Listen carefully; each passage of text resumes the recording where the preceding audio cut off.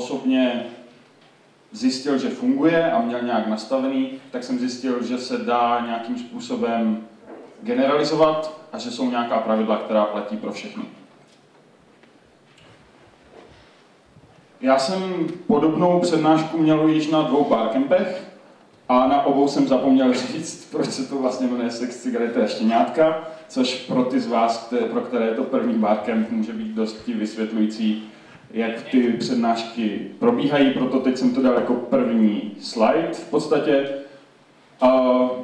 Na barcampech se hlasuje o to, která přednáška vyhraje, takže úplně první můj motiv byl dám sex do názvu jako první, lidi si toho všimnou, budou hlasovat, dostanu přednášku, ale vlastně sex tady znázorňuje kontroverzní témata.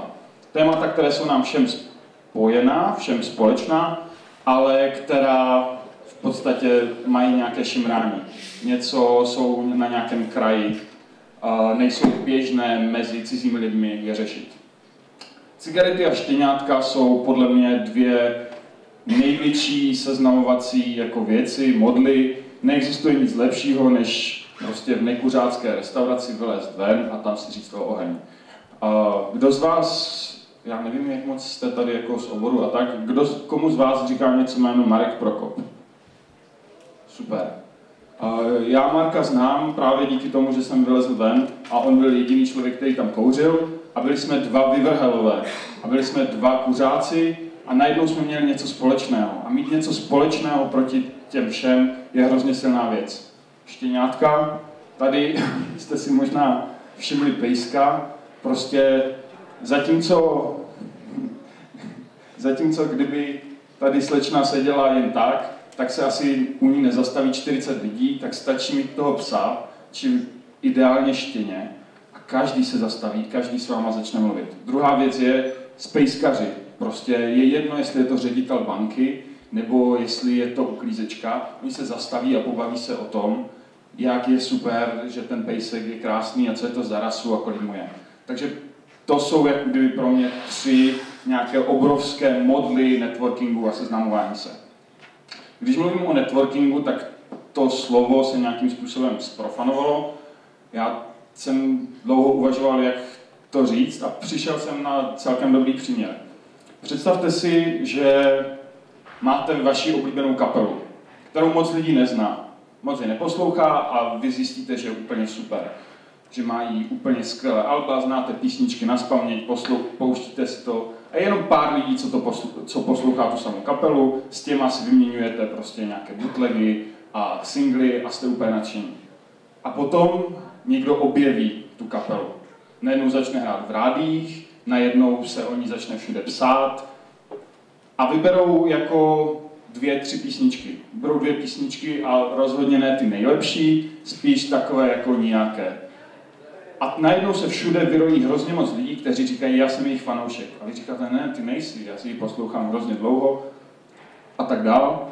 A vlastně se objeví takový jako falešní fanoušci a, a říkají kraviny o té kapele, co nejsou pravda, vy to víte, ale nedá se s tím nic dělat. Tak takhle já jsem to měl s networkingem. Prostě to byl můj případ. Já jsem zjistil, že prostě je fajn propojovat lidi, že je fajn chovat se způsobem, který pomáhá lidem kolem mě.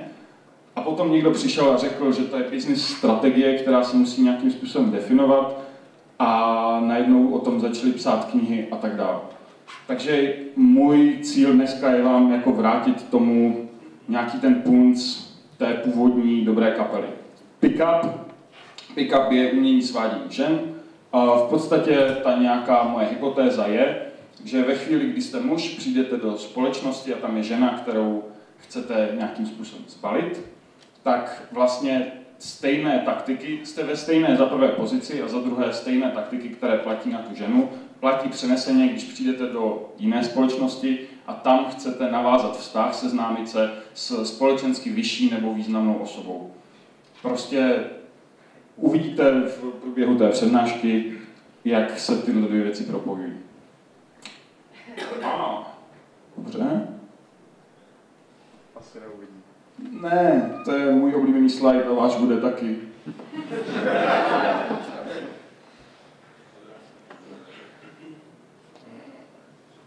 prosím.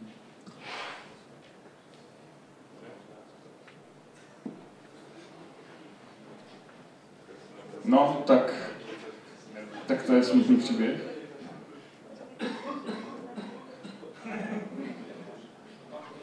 Prostě obrázky asi nefungují. To bylo takhle. Aha. Nefungují obrázky. Pro ty z vás, kteří budete potom prezentovat, tak stačí dát obrázek. A což je dost zajímavý. Což z mojí prezentace dělá celkem zajímavý. No, um, proč? Rychle to zrychlí. Když se...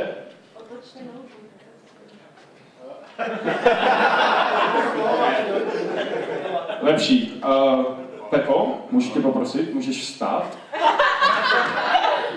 Mně nejdou slajdy pro toto. Otoč se. Když vám, no, zvedni ruce, zamávej. Tak, uh, když ženské části publika ukážu Pepu, tak vám nemusím vysvětlovat, proč se s ním chcete seznámit. Prostě máte to někde v sobě. Není, je to, je to prostě přirozený. Pojď, prosím, teď. Jasně. Tak, a mužské části publika nemusím jako vysvětlovat, proč se chcete seznámit tady se slečnou, s Chilipsem. Tak prostě uh, asi to víte. Otázka potom je, proč se chtít seznámit a to vám taky ne, neukážu. Marku, můžete poprosit dopředu No, prostě asi vám nevysvětlím, proč se chcete seznámit s Markem. Prostě asi to nemáte úplně, hele, toho chci znát. Prostě nemáte to základované v sobě. Přitom uh, Marek třeba je pro vás milionkrát lepší kontakt než Pepa, což neříkám. O Pepovi nevím nic jiného, než to, že je nádherný.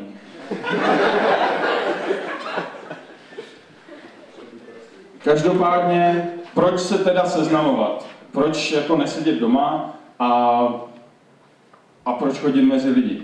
Vlastně už v roce 73 to definoval sociolog Granovetr, který dělal studii v Americe, jak lidi přišli ke svým jobům. A to je rok 73, jo? Vlastně přišel na to, že přes formální nějaké způsoby, formální způsoby jsou klasické inzeráty, vývězky, úřad práce a tak, přišlo na svůj současný job 19% lidí, přímým, to znamená, že napsali do té firmy, jestli někoho neshání, taky 19, ale přes známosti, přes někoho, kdo jim kdo je doporučil, tak to bylo 56% lidí, což jsou jako velká čísla. Ale tohle ještě není tak jako, tohle vás ještě tak jako nepřekvapí. Všichni si řekneme, OK, tak přes známosti se dobře získávají joby.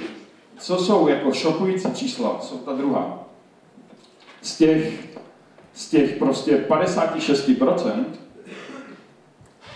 ty známosti, které jim dohodili ten job, tak z toho 56 byly občasné známosti. Ti lidi, kterým říkáte známí, ti lidi, které vidíte prostě jednou za tři měsíce, jdete na pivo, víte o sobě, ale, ale prostě nejste nejlepší kámoši, nebo nevoláte si, tak to bylo 56%. A 28% byli velmi zřídka. To jsou ti uh, bratranec mojí přítelkyně.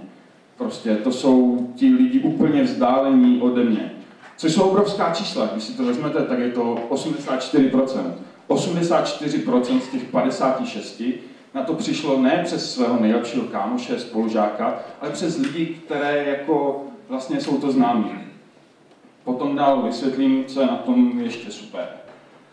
Tak, druhé, druhý nějaký můj, jako kdyby impuls, impuls, proč, proč se seznamovat, je nějaká hláška Nila Gaimana, který řekl, že proto, aby si vás vždycky najali pro opakovanou zakázku, musíte splnit dvě ze tří. Buď ji musíte dávat včas a v termínu a vždycky dobře, nebo musíte být skvělí, musíte být prostě nadstandardně dobré, a nebo vás musí mít rádi. Když splníte dvě ze tří, tak to máte. Když vás mají rádi a jste fakt dobrý, tak nevadí, že to dáváte pozdě. Když to dáváte, když jste fakt dobrý a dáváte to na čas, tak nevadí, že vás nemají rádi. A zase, když, když to dáváte na čas a mají vás rádi, tak nevadí, že to je jako průměrná práce. Co to znamená, je, že stejně důležité jako být na čas, anebo být jako skvělý, je, aby vás měli rádi. Tak, teď koho balit? Já se zeptám na čas, kolik je hodin? Někdo? Půl. Půl, super. Koho, koho balit? První je, nebo s kým se seznamovat, koho chcete znát? První je jasné, prostě toho, koho chcete. Uh, nějaké vaše idoly. Já bych se chtěl setkat, nebo jsem se setkal s Woody Allenem. Byl to můj sen, splnilo jsem to prostě v pohodě. Uh, splnilo se mi to, nemá to nic společného s mým jobem, s mou kariérou, ale prostě jsem si to chtěl splnit. Tak to je jasné. Potom jsou tam tři další, které za chvilku vysvětlím. Uh, superconnectors, weak ties a ženy. Ženy jsou to hlavně v našich oborech, protože když jste žena, tak v našich oborech to máte o dost naší a ve chvíli, kdy přijdete, kdy znáte nejhezčí ženu v místnosti, tak znáte nejdůležitějšího člověka v místnosti na akci typu Barcamp. Tak, teď Superconnectors. Superconnectors vychází z vědecké studie, které, kterou vlastně udělal Milgram. Říká vám něco jméno Milgram? Milgramův experiment? Někdo? Jo? Dobře. Milgramův experiment byl úplně rychle, mám čas. Úplně rychle Milgramův experiment dokazoval, jak jsou lidi schopni udělat zlé věci, pokud jednají pod vlivem autority, pokud jako věří, že je někdo nad nimi, kdo přebírá tu zodpovědnost. Dokázal vlastně, chtěl tak vysvětlit, co se dělo během druhé světové války, jak německý národ mohl inteligentní lidi tohle dokázat. Vlastně nechal, nechal pokusné subjekty dávat elektrošoky druhé straně na základě nějakého pokusu. Bylo to nafingované, ale oni si mysleli, že to je opravdové. Šede, víc než 60% lidí, bez ohledu na sociální status vzdělání, dalo ještě jeden šok po tom, co se druhá strana neozývala. To znamená, že jako kdyby ten člověk říkal au, au, au, au, to bolí, to bolí, to bolí, mám, bolí mě srdce, potom se neozval a víc než 60% lidí mu dalo ještě jeden šok. Prostě eh, někdy se to milně vykládá jako důkaz toho, že lidi jsou z podstaty zlí. Tak to je milgram, to je jako doplnění základního vzdělání. Každopádně publikoval studii, která se jmenovala Small World, kterou možná znáte pod jiným názvem, a to je Six Degrees of Separation. Kdo slyšel pojem Six Degrees of Separation? Tak, super. Six Degrees of Separation říká, že s každým člověkem na této planetě jsme spojeni přes šest uzlů. Prostě přes šest nějakých klíčových lidí, tak jsme spojeni se všema. Jak s posledním, s posledním dítětem v Sudánu, tak s Barackem Obamou. A Milgram to tehdy dokázal jako kdyby nějakým experimentem, dal do různých částí Ameriky dal balík, řekl, kam má ten balík dojít, ale řekl, hele, můžete ten, pošlete ten balík jenom těm, které znáte a tak, ať je to na nejméně kroku. A zjistil, že tam bylo teda šest kroků. Každopádně, co, je, co bylo na tom jako důležitý, je, že když Milgram jako zjišťoval, kudy ty balíky šly, tak zjistil, že jsou tam nějaké uzly. Že spousta balíků šlo přes ty samé lidi. Prostě v nějakém tom kroku se objevili ti samí lidé. A těmhle lidem se říká superconnectors. Prostě lidi, kteří mají spoustu známých. Prostě lidi, kterým zavoláte, když fakt něco chcete. Prostě tak to jsou superconnectors. Většinou jsou jako definováni, nevím, jak, jestli, jaká je to kauzalita, ale tohle jsou prostě typické povolání pro superconnectors. Nevím, jestli je to proto, že tato povolání a, jako kdyby vyžadují, abyste navazovali ty kontakty, anebo naopak lidi, kteří navazují kontakty, vyhledávají tyhle povolání. Nevím, kde je kauzalita, každopádně jsou to politici z podstaty věci, potřebují prostě uh, hodně lidí kolem sebe, právníci, celebrity, novináři a PR manažeři. To jsou nějací prostě definované skupiny lidí. Takže pokud vy se chcete, pokud vaši, váš cíl je něčeho dosáhnout a chtěli byste vlastně vylepšit, upgradeovat svou síť, tohle jsou první lidi, po kterých se nějakým způsobem dívejte. Tak, weak ties, to je ten granometr, o kterém jsem mluvil. A ten prostě dokázal, těch, že těch 84% jsou, nejsou ten tvůj, ten váš brácha nebo, nebo ten váš spolužák, ale že jsou to ti známí. Ti lidi, často lidi, které jste potkali dvakrát v životě, tak najednou vám dohodili prostě váš job. A dokonce to vysvětlil. A dneska jsme tak daleko, že se to vysvětlilo i několikrát matematicky. Vysvětlil to na hezkém příkladu, kdybyste měli dvojče a to dvojče s váma trávilo všechen čas a vás by vyhodili z práce a teď byste hledali novou práci. Jakou práci vám to dvojče jakoby dohodí? No, žádnou jinou, kterou byste si nedohodili samo, sami. Proč? Protože čte ty samé noviny, zná ty samé lidi, tráví ten samý čas. Nemá jako kdyby co vám přinést. Zatímco člověk, který od vás co nejvzdálenější, prostě poslouchá úplně jiné věci, bydlí v jiném městě, tak má jiný ten kruh.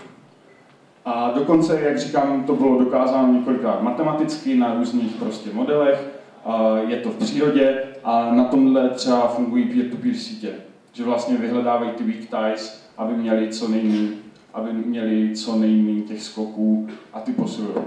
Takže, takže další, koho bych vám doporučil, je hledejte lidi, kteří jsou jako nejvíc od vás rozdílní v podstatě.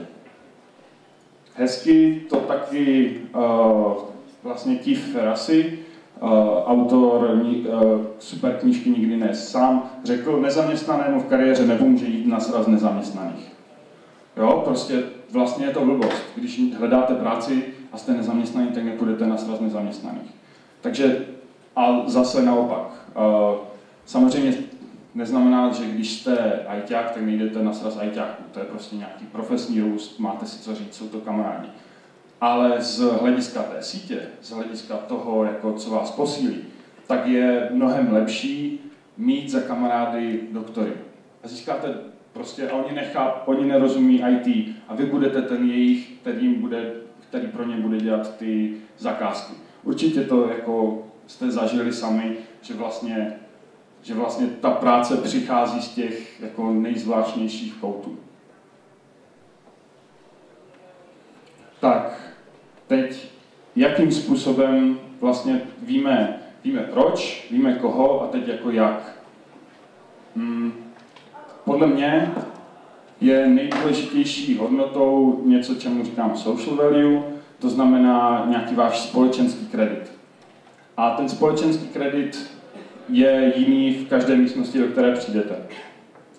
Když já jsem v této místnosti, tak mám celkem vysoký společenský kredit, protože jsem řečník. A tím pádem vám, jako, vám něco říkám z pozice síly. A bude pro mě po skončení té přednášky jednodušší se seznámit s kýmkoliv z vás. Jo? To je moje social value. A druhá social value je, že vy třeba v, pěstujete čili papričky pěstujete čili papričky a jste nejlepší pěstitel čili papriček prostě v této republice. A když přijdete na sraz těch čili papriček, tak vás všichni plát čili papriček. Když přijdete na sraz pěstitelů čili papriček, tak vás všichni plácejí po zádech a říká, hele Honzo, ty jsi borec, máš nejlepší čili papričky. No a potom přijdete na sraz pěstitelů okurek a tam nikdo vás neplácá po, po zádech. Takže to se mění. Co je dobrý, je, že se to dá uměle zvyšovat v podstatě. A že když přijdete do místnosti, tak za prvé, pokud znáte někoho, kdo má tu vysokou social value v místnosti a ukážete, že k němu patříte, ideálně pokud ho znáte, ale stačí v podstatě, když vejdu do místnosti a začnu se bavit s tou nejhezčí holkou v té místnosti a jenom se jí zeptám, hele, kde jako jsou záchody a dneska jsem se hrozně opil a vůbec se nespal a čau, tak vy všichni u vás podvědomě vzrostu. Vzrostu, protože já jsem ten, který se baví s tou nejhezčí holkou v místnosti. A vy už neslyšíte to, že jsem se vlastně zeptal, kde je záchod. A takhle, když obejdu tři a půjdu za čtvrtou a čtvrtá to viděla, tak čtvrtá řekne ahoj. stejně, to, stejně to funguje jako s důležitými lidma. Prostě ve chvíli, kdyby tady byl Steve Jobs, budíš mu země lehká, a, a já jsem se tady bavil s Billem Gatesem a Bill Gates by se jako smál a plácal mě po ramenou, tak kdybych se potom otočil a zašel za Stevem, tak Steve jako řekne, no, tak jako kdo ty jsi? Jo, chápete to. Dá se to nafingovat. To je jako důležité, že nejlepší je, když máte tu skutečnou hodnotu, když jste fakt dobrý, ale to je asi na, jako na jinou přednášku. Já vám říkám, jak se co, jak to hacknout. Tak, uh, když se chcete s někým poznat, potkat, tak první potřebujete vědět s kým, uh, říct si vlastně, kde ho potkám. Uh, když bych si teď řekl, že se chci seznámit Fuh, s kým? S Janem Řežávem, to bude dobrý, když to je tady jako social bakers. A chtěl bych si, prostě bylo by to pro mě nějakým způsobem zajímavé. Jo? Ať už z toho, hele, chci být jeho dodavatel, nebo, nebo prostě chci balit holky na to, že prostě znám vlastníka Social Bakers, přesně všechny ty holky, co dělají Social Bakers teda, tak, protože holky jinak neznají Social Bakers. Na Social Bakers v normální hospodě nezbalíte holku. No, každopádně tak bych si zjistil, kde třeba přednáší. Zjistil bych si vlastně, kdo jsou jeho kontakty. První bych si zjistil, jestli nemáme společné známé, jestli už já nemám vytvořený ten most k němu. To je nějaká pyramida, o které budu mluvit. Prostě musím zjistit první, jak se k němu dostat. Druhé je, když jdu na akci tohoto typu, tak vlastně oni vás už nabádají. Kolik máme času? Super, super. No, oni vás úplně nabádají, abyste to udělali. To je úplně jako geniální. Vy si můžete rozkliknout všechny účastníky barcampu. Tam si rozkliknete a tam máte o nich informace. Tak si je stačí rozkliknout, podívat se, kdo vás vlastně zajímá a toho si vygooglit. Já nevím, jestli to tam mám řečený, nemám to tam řečený, ale v podstatě, eh, když si mi kamarád řekl, hele, kdo si, kdo si mě předtím, než mě osloví, nevygooglí, ten mi nestojí za mou pozornost. A je to jako vlastně, vlastně pravda.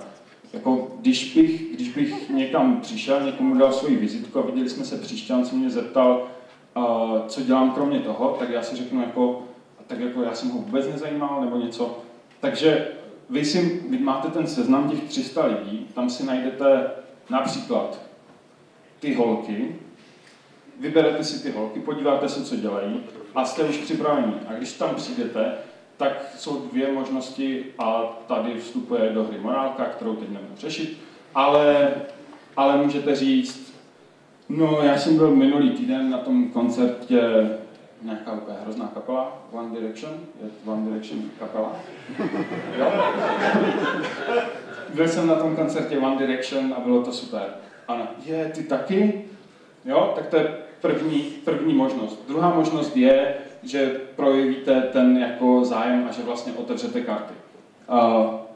Dám zase příklad s tím Janem Řešábem, který bude jako podle mě dobrý. Kdybych já přišel za Janem Řežábem a ptal jsem se ho, tak co, jak ti social bakers, jak to jde, tak je to jako asi nejhorší úvod, co můžu udělat, čo? Jako, nebo slyšel jsem, že jste dostali investici, dobrý, ne? To je jako úplně hrozné. Co já můžu udělat, je... Jo, a, a, počkejte. Jo. A, co, já můžu, co já můžu udělat, a, je zjistit o něm něco, v podstatě zjistit, co se děje, a potom v balení holek se tomu říká neck theory, prostě neck. Neck je, když přijdete za holkou, a čím ta holka je hezčí, žádanější, tím je to lepší. A přijdete za holkou a řeknete, a určitě jste to zažili, hej, tobě to úplně mega moc sluší, jenom ty boty. Ona řekne, ona neřekne, je, děkuji, ona řekne, co mám s botama? Jo, a to je prostě, vždycky chyt, chytne se na to špatný. A stejně to funguje s těma lidma. Prostě vy k ním přijdete a když máte holku, kterou všichni milují a k ní přijdete a řeknete, já tě miluju a budu pro tebe prostě celý život prostě dělat úplně všechno, tak jí to nezajímá. Proč? Protože má kolem sebe tisíc lidí, kteří to mají stejně. Ale když k té samé holce přijdete a řeknete prostě, mm, tohle tričko jako ti moc nejde k očím, ale jako jinak dobrý, tak najednou jste někdo jiný, najednou prostě nejste ten patolíza a najednou jste přinesli jinou informaci. A stejně je to s tím řežádem. Prostě když já k němu přijdu a řeknu, hele, četl jsem tvůj poslední blog post a jako moc hezky napsaný, ale nesouhlasím s tou druhou částí proto a proto. Tak najednou se o něčem bavíme. Najednou on ví, že ho nějak znám, ví, že mám pro něj nějakou hodnotu, že mám nějaký názor, že jsme si nějakým způsobem rovní a najednou prostě máme nějaký důvod se bavit. Jo? A je to jakoby celkově vlastně přináší nějakou hodnotu do té konverzace. To je hrozně důležité. Pokud vy nemáte žádnou hodnotu, kterou byste tam přinesli, tak se na to vykašlete. Prostě je to stejně prostě s holkou. Když na tu holku fakt nemáte, tak nikoho nezbalíte na to, co nejste. Je moje jako nějaká idea.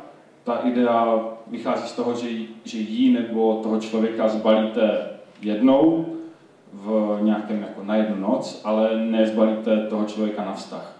A vy chcete vybudovat ten vztah. Ten vztah je to důležitý.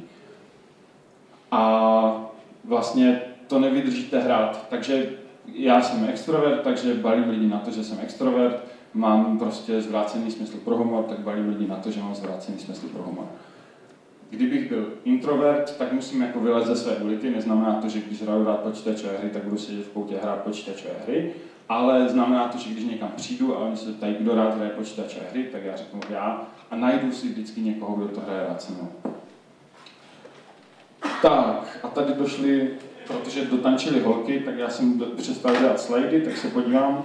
Jo, uh, Peacock Fury. Víte někdo, co je Peacock Fury? Ne, nikdo? Aha, dobře. Uh, vlastně v pick-upu v balení holek je jedna teorie a to, že když si vezmete výrazné oblečení nebo výrazný doplněk a vlezete do toho baru nebo do toho nějaké společnosti, tak vám to výrazně prospěje. Proč vám to výrazně prospěje? Z několika důvodů. Za prvé jste nápadný a ukazujete nějakou odvahu. Za druhé, a co je mnohem důležitější, máte se o čem bavit. Je to prostě icebreaker. A je to icebreaker. Prostě když máte na tričku obrovského, a nemusí to být uh, úplně nějak nějaká jako, může to být úplná jako blbost. Třeba, jak vidíte, soba. To není jako záměr, ale když bych se s někým bavil, tak prostě je to první věc, o které se budeme bavit. Je to, a jsem ten kluk s tím sobem. Třeba je, je to spojené třeba i s osobním brandingem. Třeba když si vezmete koldu, tak kolda je ten kluk s knírem. Prostě nikdo nemusí vědět, co dělá, ale všichni si ho pamatují z toho barcampu. Proč? Protože je to jediný kluk, který tam má knír. A všichni ví, který to je. A prostě ten kluk s knírem byl tam a tam a prostě tohle funguje.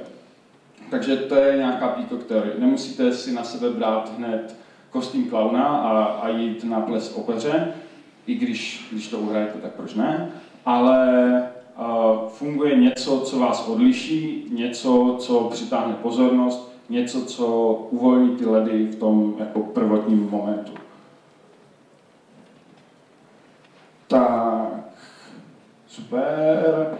Three seconds rule. Uh, v, jakoby jedno z nejstarších pravidel pickupu je, že když se vám líbí holka, máte během tří vteřin jít k ní a oslovit ji. Něco podobného bych vám doporučil s těmi lidmi, které chcete oslovit. Můžete to dělat tak se vším. Vlastně funguje to na základě toho, určitě jste přišli na nějaké pozitivní myšlení, že když jako si věříte, že to dáte, tak to většinou dáte, a když si věříte, že to nedáte, tak to nedáte. A ty tři vteřiny jsou tak akorát čas na to, abyste si nezačali říkat, jak moc to nedáte.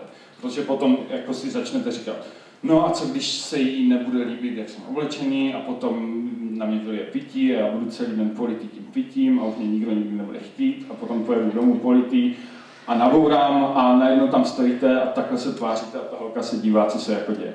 Ne, prostě jedna věc. A prostě s tímhle, s nějakou tou úvodní energií, prostě přinesete tu energii do té konverzace.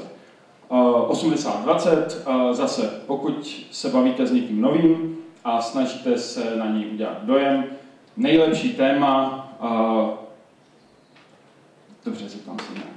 Pepo, jaké je tvoje oblíbené téma ke konverzaci? Asi sport. Sportuješ?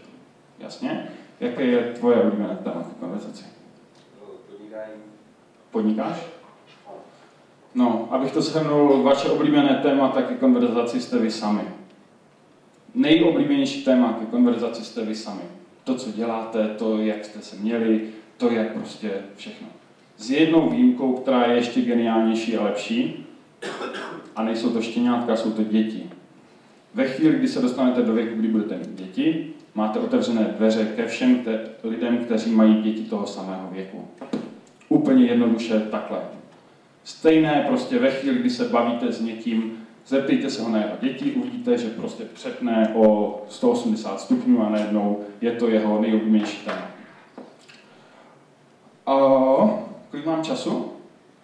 10 minut, super.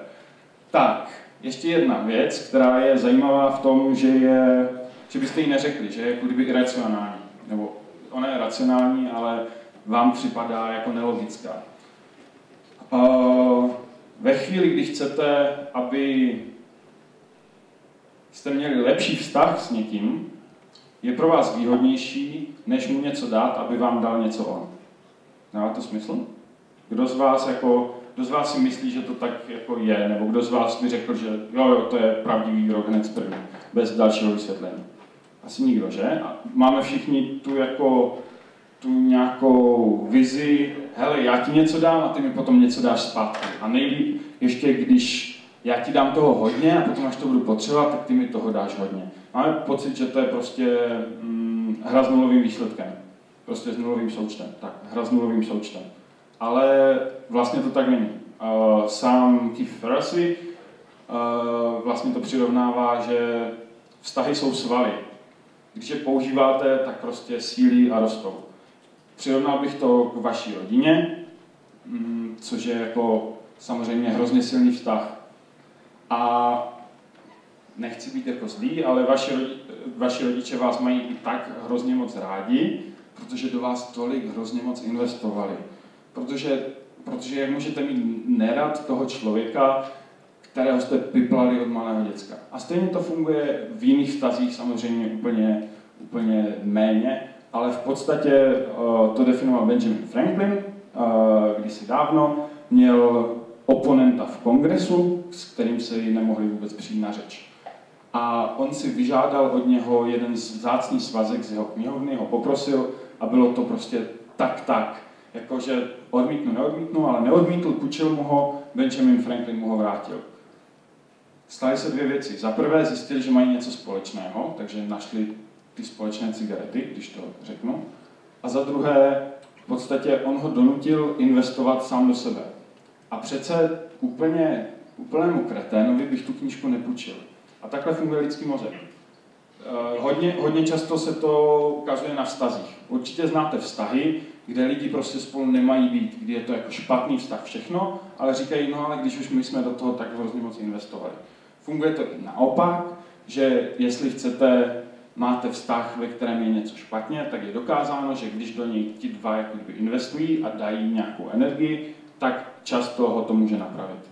Protože psychologicky je to vlastně tuhle nějakou poučku mám, z chyby se staly, ale ne mojí vinou, úplně boží kniha, všichni si přečtete, myslím, že by měla být povinná literatura. A vlastně ta poučka je, že my o sobě nikdy neuvažujeme, že jsme hloupí nebo špatní. My jsme vždycky ti nejlepší. Prostě jsme tak nastavení biologicky. Prostě, hele, já jsem super typek. I když jsem udělal tohle a tohle, tak vím, že jsem dobrý typek a tak. A tohle máme nastavené. A když se chováme vlastně hloupě, děláme ty chyby, tak je máme tendenci omlouvat. A když děláme ty chyby v lidech, tak máme tendenci je povyšovat. Prostě radši než si říct, hele, jako jsem takový blbec, že jsem jako strávil tady dva týdny práci na projektu s tímhle blbcem a nikdy bych to neudělal, tak si řekneme, jo, a tak bylo to dobrý, zkusili jsme, určitě nám to oběma něco dalo, ale není tak špatný. Jo? Tak. Dobře, poslední, poslední věc. Ve chvíli, kdy se, jo, poslední dvě věci. Za prvé, nejděte po kvantitě, ale jděte po kvalitě. Uh, v podstatě z téhle konference si můžete odnést 300 nových followerů na Twitteru. Uh, 300 lidí můžete obejít a říct čau, čau, já jsem Jirka, bla, bla, bla. Nedělejte to, je to na houby. Ničemu vám to nebude. Je to prostě nějaké, nějaké. Radši si z téhle konference odneste tři, čtyři lidi, kteří za týden, když jim zavoláte, tak si vzpomenou na to, kdo, kdo jste. Prostě tohle je důležitější. A nemusí to být hlavní organizátor. Stačí prostě někdo zase prostě po pyramidě jdete dál a vzhůru. Tak a poslední, když byste tady se na konferenci s někým seznámili, tak hrozně důležité je follow-up takzvaný. Vy se tady seznámíte a musíte se mu připomenout. Je to jako když se s někým seznámíte na baru, dostanete od něho číslo, od něho nebo dostanete od ní číslo, tak, už jsem zpátky. dostanete od ní číslo a prostě počkáte ty tři dny a za ty tři dny se připomenete, hele, pamatuješ, jak jsme se bavili o té písničce, tak jsem našel její Jo, ideálně zase navazujete na konverzaci, kterou jste měli. Tak, a protože mám poslední čas, tak vám ukážu a, a nic vám neukážu, protože už nemám čas. A dotazy asi jsem vyčerpal úplně moc. Jo, takže to je za mě všechno a těším se na vaše dotazy, pojďte. Na začátku jste říkal nějakou super knížku, co to bylo? Uh, jo. Uh, knížky. Nikdy nejsi sám Keith Ferrasi. Prostě jediná dobrá kniha o networkingu, která je. I nikdy nejsi sám. To je skvělé. Tady je publikum, která nezná Nikdy nejsi sám. To je zlatý důl. A jo, a to je jako, vydal to Melville, je to super knížka, popisuje něco z toho, co jsem tady říkal, je trochu moc, mm, trochu moc vědecká na mě, nebo ona, ona není vědecká ta knížka, ale ta metoda, on už pro mě bere lidi, jakože hele, zavolám tomu, zavolám tomu, že má seznam, seznam lidí. Já tak úplně nefunguji. A Maru? No, ono to je možná na další diskuzi potom, ale jak si říkal, že nezbalíš člověka na to, že mu řekneš to, co mu řeknu, řekli všichni, ale že mu třeba něco skritizuješ. Uh, jestli třeba pro toho řežába bys nebyl ten kreten, který mu skritizoval biznis a jako co jsi za blbečka, že vůbec si dovoluješ něco takového říct? Mm, myslím, že ne. Samozřejmě, když, když přijdu je to prostě úplně jako typické. A hezky se to vztáhne na ty holky. Když já přijdu do toho baru a tam je ta hezká holka, kterou všichni říkají miluju tě, a jak ní přijdu a řeknu, ty jsi totální kráva, tak ji asi nezbalím, že jo? Jo, prostě nejlepší, nejlepší je, no i když. A nejlepší je to zabalit nejlíp jako dvě informace. To je to, co jsem říkal. Hele, líbil se mi ten článek, ale nesouhlasím s druhým odstavcem. Tak to je prostě, jo, jsme na stejné vlně, ale mám jiný názor na tohle. Takže tak. Ještě, ještě poslední dotaz? Poslední dotaz. To asi zvládni bez mikrofonu. Jo, dobře. To zkusíme, myslím tě, říkal jsi tady jako spousta věcí o networkingu, jak to funguje, ale málo co si hlava pamatuje. Vypích nějaký tři nejdůležitější věci, jak networkingovat. Co si myslíš, že je takový základ opravdu, který bychom se všichni měli držet? Co neporušit, nebo co dodržet? Fuh. Tak za prvé, že vztahy jsou jako sval. To znamená, že prostě jejich používáním sílí. To je pro mě jako opravdu důležité nebát si třeba říct o pomoc. Jo? To je spojené s tím, co jsem říkal o tom Franklinovi. Takže když něco potřebujete, tak se nebojte říct, prostě nejhůř ta druhá strana řekne ne. Tak, to je první věc. Druhá věc, podívám se, Jo, nezbalíte někoho na to, co nejste. To je podle mě jako důležitý, protože hodně lidí si přečte ne, prostě jak zbalit holku nebo networking a začnou se chovat jinak a jdou do společnosti úplně jinak oblečení a necítí se v tom dobře a pak se diví, proč to nefunguje. Nefunguje to proto, protože hledáte lidi, kteří by vás měli rádi vlastně. A když nejste sám sebou, tak jak vás mají rádi.